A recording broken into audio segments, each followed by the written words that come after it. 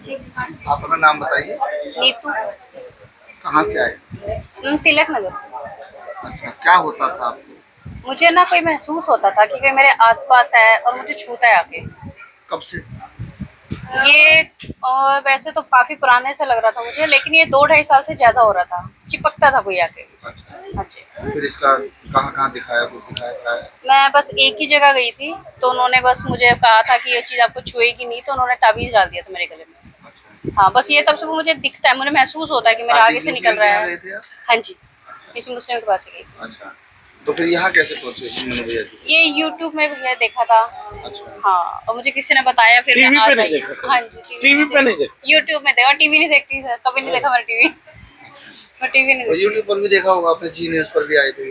हाँ जी वो कल रात को ही देख रही थी। अच्छा तो क्या देखा आपने? उसमें क्या महसूस किया? मतलब अच्छी पॉजिटिव वाइब्स आई मुझे काफ़ी। तब मैं फिर आज पहली बार आई मतलब आप टीवी पे देख के भी आ गई उन्होंने तो अच्छी पॉजिटिव नहीं दी थी रिपोर्ट्स कोई फ़र्क नहीं पड़ता वो जो अच्छे के साथ हमेशा यही होता है इसलिए मैं फ़र्क नहीं डालती। मैं आई नहीं हूँ तब भी मैंने कमेंट डाले उसमें छोटी सी क्लिप थी। हाँ उसमें वो क्लियर नहीं थे। मैं क्लियर था। आप क्लियर मैं क्लियर था वो नहीं क्लियर मैं कल नहीं मैं कभी आई नहीं हूँ फिर मैंने कमेंट पॉजिटिव ही डाले थे पढ़े कहाँ तक है? मैं टेंथ तक पढ़ी बस। अच्छा लेकिन कमेंट्स इतने अच्छे अच्छे लिख लेते हैं आप कैसे? पॉजिटिव कमेंट्स क्या था आपका? मुझे मतलब पता चलता है सामने वाले को देखिए हाँ जब अच्छा इंसान चलता है ना उसके पीछे पीछे पीछे पीछे लोग चलते ज़रूर है उसकी बुराइयाँ करने। ताकि वो बढ़े ना आगे। मुझे इतना समझ में आता है। अच्छा रुकता है कब है? किसी से रुक जाएगा? नहीं। इसकी बुराई करने से तो वो और बढ़ेगा आगे बल्कि। आपको कहीं दर्द होता है शरीर में? नहीं कमर में?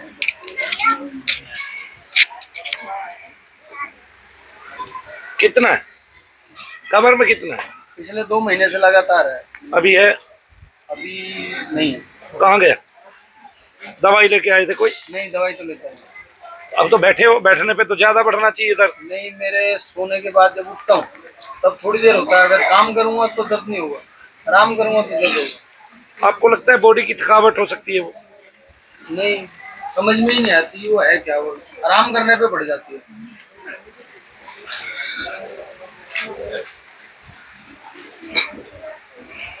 अच्छा। अभी माला गुरुजी ने दी हुई है आपके हाथ में। जी। क्या महसूस कर रहे हैं आप? ये जब थोड़ी देर पहले दिया था कि मतलब खुलने वाली मेरी मुट्ठी मतलब ऐसे लगा था सब फूलते जा रहे हैं इसके ये बहुत टाइट हो रहा था जिसकी वजह से यहाँ दर्द निकल रहा था। बट अब नॉर्मल है। अभी बीच में फिर हो गया था ऐसा।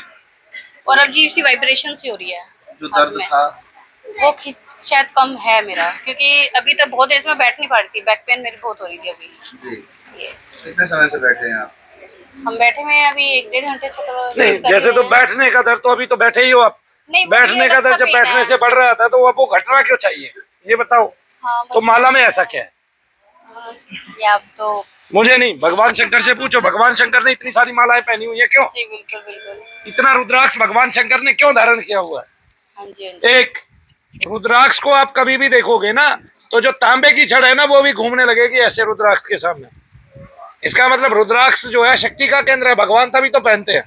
भगवान के पास कोई माला नहीं है दुनिया की एक रुद्राक्ष की माला है। तो फिर इसका मतलब उसका कोई तो अर्थ होगा ना। ठीक है काली माता मुंडो की माला डाल रही है वो तंत्र की देवी है। लेकिन भगवान शंकर किसकी माला डाले हुए हैं? रुद्राक्ष की। और जगह जगह पहने हुए हाथों पे सारा गहना ही वो है उनका। तब आपको इसका मतलब रुद्राक्ष पहनना चाहिए कि नहीं पहनना चाहिए? तो रुद्राक्ष इसका मतलब निगेटिविटी को क्या करेगा? खा जाएगा। खा जाएगा। वो आपके अंदर निगेटिविटी थी आप निगेटिविटी से दर्द पेन महसूस कर लेते वो दर्द पेन मुट्ठी में आ गया। मुट्ठी में क्यों आ गया? मुट्ठी में रुद्राक्ष है और हम भगवान शंकर का भोलेनाथ का जप कर रहे हैं। तो फिर क्या होगा? फिर वो जप करते करते आपकी मुट्ठी हिलने लगेगी। अगर जितना आपको भारी है तंत्र उतना ज़्यादा आपके प्रभाव होगा। वो काली सी महिला कहाँ है? इसका कल किया था? इसका कल रात को सब हुआ था। सुमन कैसी तबीयत है आपकी? है? उसके बाद हाजिरी आई है? है? नहीं आई है? देखिए दिखा देता हूँ ये काम भी करके। यहाँ आओ। जी जी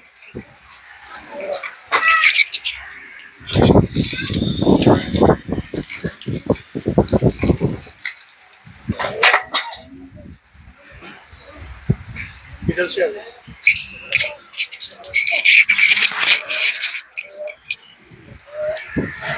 यहाँ बैठ जाओ। इसको भाई। थोड़ी सी पीछे हो। आपका हाजरी में कौन सा हाथ हिलता था? ये वाला तो कभी नहीं हिला था। चलिए इसी हाथ में लीजिए फिर से। ये कौन सा है? उल्टा है? तो उल्टा ही लीजिए।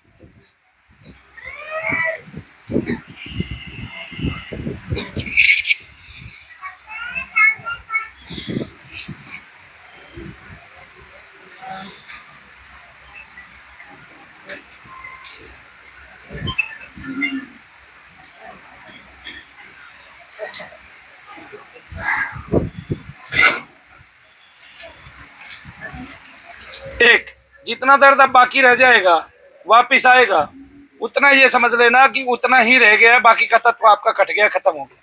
बाकी का आपका माला में आ गया। ये हमारी प्रक्रिया है। मनु भैया की प्रक्रिया को आप जानते हैं? यज्ञ की प्रक्रिया, मंत्र की, जप की, माला की, बस। इतना ही इतना ही शोध है मेरा। इसके ऊपर का शोध नहीं है, बीस साल का।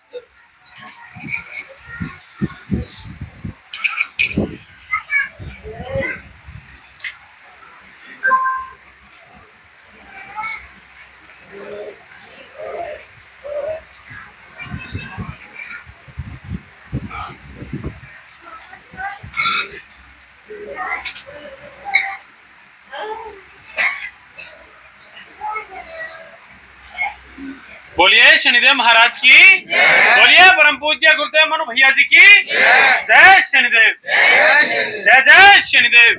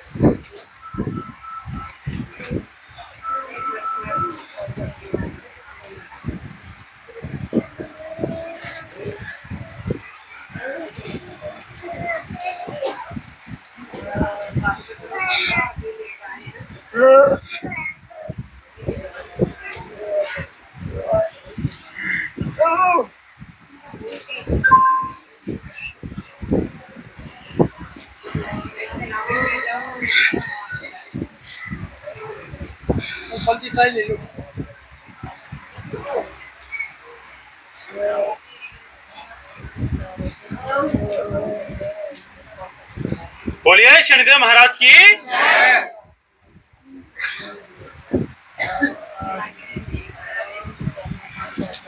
सुनील क्या परिवर्तन देख रहे हो इसमें परिवर्तन ये देख रहे हैं कि चीज़ आने की कोशिश कर रही थी लेकिन पहले जैसे नहीं आ रही तो कल दबाव था उतना दबाव नहीं है। और जो कल हाथ उठ रहे थे उसकी बजाय कोई शरीर में स्थिरता आ गई शरीर में और कंट्रोल कर पा रही काबू कर पा रही है। हाँ? कौन आए थे सर कल से दर्द में कितनी कमी आई है? बहुत। बहुत कितनी? बहुत कितनी? ज़्यादा आई है। ज़्यादा? थोड़ा थोड़ा रह गया। बोलिए शनिदेव महाराज की। बोलिए परम पूज्य गुरुदेव मनु भैया जी की। इसको जो तंत्र था वो इसको तो है ही। इसके पूरे घर वालों को। इसको बचपन का तंत्र था, अब का नहीं था। कब का था? इसको याद नहीं है कब से बीमार रहती है। मैं ये तुम्हें बता दूँ। है ना? यही बात है ना? बस ये बेचारी बचपन से काम करने लग गई थी। बस। पढ़ाई भी इसने कम की, लेकिन ये दुखी थी। एक बात, इसका जो रोग था, इसकी कमारी के ही दो ऑपरेशन कर दिए डॉक्टरों ने। और वो ऑपरेशन मैं कहता हूँ गलत है। पूछो क्यों? क्योंकि डॉक्टरों को आज तक यही भेद नहीं पता चला, अगर हमारे इतने ग्रंथों में भूत प्रेत लिखे हुए हैं, अगर ईशा मसीह शैतान निकालते थे तो वे हैं कहाँ? आज भी तो होंगे वे। आज तो कलयुग है, कलयुग में तो वे सबसे ज़्यादा है। फिर कभी नहीं थे, ऐसा रहा ही नहीं। और उस टाइम से अब तक 2000 वर्ष का फ़र्क आ चुका है। तब आ चुका है कि नहीं आ चुका है? भाई 1500 वर्ष तो हो ही गए ना। तब वो शैतान निकालते थे ईसा मसीह। इसका मतलब तब भी थे, आज भी हैं। है जी, तुलसीदास जी ने हर जगह ज़िक्र किया है, इसका मतलब तब भी थे, आज भी है। और आज ज़्यादा है। अब कैसे लोग मरते हैं, पहले कैसे मरते थे, पहले कितनी शांति थी, अब कितनी अशांति है। ये समझ में आता है सांप देखने में। अगर आप अब बच्चों को मोटरसाइकिल चलाते हुए देखोगे ना तो हृदय संभालना, हो सकता है आप बच्चों को मोटरसाइकिल चलाते हुए देख के ही गिर पड़ो। बेहोश हो जाओ, चक्कर खा जाओ। ठीक है ना, इतना रिस्क लेते हैं ना जान का कुछ हद नहीं। जैसे जीने के लिए जन्म नहीं लिया, मरने के लिए जन्म लिया कहीं और जाना है, ऊपर। नीचे नहीं रहना है। ऐसा काम करते हैं आजकल के युवा और बच्चे। ठीक है? तो अब वो जाएँगे कहाँ? बताओ। उनको कौन सा रूप मिलेगा? बताइए मुझे। कौन सा रूप मिलेगा? बताइए। तो फिर प्रेत आदि किसको कहते हैं? ऐसे पित्र किसको कहते हैं जो कच्ची उम्र में चले जाते हैं? और हर प्रेत किसी के ना किसी के घर का है। तो वो है कहा? दिख तो रहा नहीं है वो मानवों की तरह। कहीं ना कहीं तो बसा हुआ है। जिसके बारे में टीवी चैनल वाले प्रचार प्रसार करते हैं, प्रेत प्रेत कह के, प्रेत छोड़ा, ये छोड़ा, वो छोड़ा। प्रेत के ऊपर ही सारी फ़िल्में बनने लगी हैं अब। है जी? प्रेत के ऊपर ही सारी फ़िल्में बनने लगी है तंत्र के ऊपर ही सारी फ़िल्में बनने लगी है। इसके नाम से सारी दुनिया रोटी खा रही है, वो है कहा? ठीक है, फिर इसको हाजिरी आ रही है तो डिसोसिएसिव डिसऑर्डर हो गया। अनिद्रा की कोई ऐसी बीमारी बता देंगे। डॉक्टर डॉक्टर को केवल पैसा कमाना आता है, उसको कारण पीछे जानना आता ही नहीं है। ना उसके पास है कोई कारण। ठीक है कल इसकी मुट्ठी में माला दी थी। कल से आज तक क्या परिवर्तन हुआ भाई? माला में और मेरे मंत्र जाप से। क्या परिवर्तन हुआ? ये हाजिरी लेना बंद कर गई। कहा इसकी हाजिरी? कहा इसका उन्माद रोग? कहाँ गया वो उन्माद रोग जिसको डॉक्टर डिसोसिएटिव डिसऑर्डर बोलेगा? डॉक्टर को भी तो दिखाया होगा तूने। बहुत। बहुत। क्या हुआ? डॉक्टर के सामने कभी ऐसी हाजिरी आई थी? दो चार बार ले लेती आँख में देख के। पता चल जाता उसको। फिर बिल्कुल तेरे को वहाँ तक छोड़ के आते आगरा तक। फ्री में। अपना तो पैसा लगाते नहीं तेरे ही लगवा देते। करंट लगाते क्या पता तू काली से गोरी हो जाती। नहीं कौन सा खा देते? तेरे को दर्द रहते थे अभी भी। दर्द का तो इलाज करा रही होगी ना डॉक्टरों से? क्या खा रही थी? खाने में दवा हो तो दवा दे रहे थे। दवा दे रहे थे दवा खा रही थी इतने सालों से। कितने सालों से? अभी तो डेढ़ साल हो गया। दवा खाते लगातार दर्द की। कहाँ कहाँ दर्द रहते थे? सर में हाँ। पैर में हम्म। कमर में हाँ। सीने में कल इसकी सिचुएशन किसने देखी थी बताना जरा? क्या थी इसकी कल की सिचुएशन बताना बेटे। हाँ। तगड़ी हाजिरी आ रही थी। हाँ आवाज़ भी दे रही थी। चिल्ली भी मार रही थी तू पूरे शरीर में? ऊ आ तो कर रही होगी ना कुछ तो। नहीं कर रही थी। कल? तेरे घर वाले कहाँ गए? वो तो कल आएँगे। तू ऐसा क्या खाती है जो इतनी मोटी हो गई? खाना खाते हैं और क्या खाने में क्या खाती है? सादा ही खाना दवाई तो खाई है मोटी तो होगी। ही। दवा तो बहुत खाई दवा बहुत खाई है कुंवारी के दो ऑपरेशन कर दिए दर्द के कारण। दवा खाते ये प्रेत दर्द करेंगे ही करेंगे जहाँ बैठेंगे। खबरदार हो जाओ अगर आपको कैंसर का रोग भी है ना और अगर आपको साथ में दर्द है तो केवल मानसिक जप करके देख लो भाई। हो सकता है वो दर्द इसका हो। रोग को बाद में ठीक करा लेना, पहले प्रेत का दर्द ठीक कर लो। क्योंकि जब तक दर्द ठीक नहीं होगा, वो रोगी की दवाइयाँ लगने ही नहीं। किसी को दुनिया में नहीं पता है, प्रेत कड़वा खाता है। कितना आपके शरीर के अंदर कड़वापन होगा, उसको प्रेत चट कर लेगा। नहीं यकीन हो तो हमारे पास एक बच्ची बैठी है, वो वो कभी जीवन में हल्दी नहीं खाई है उसने, लेकिन यहाँ जब भी आती है, जब भी उसकी हाजिरी आएगी, वो एक गिलास हल्दी खा जाएगी। ना यकीन हो तो अपने घर से एक गिलास हल्दी का नुकसान करा के ले आओ। खिला के दिखा दूँगा। बोलिए शनिदेव महाराज की।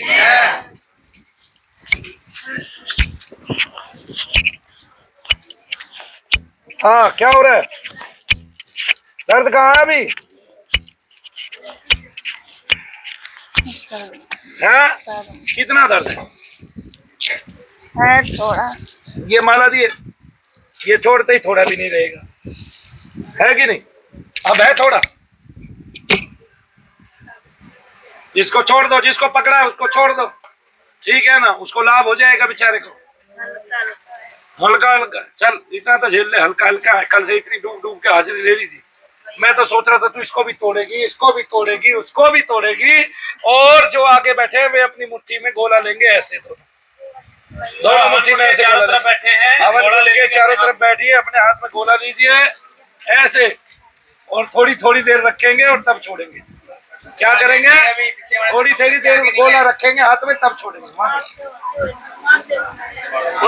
महाराज की।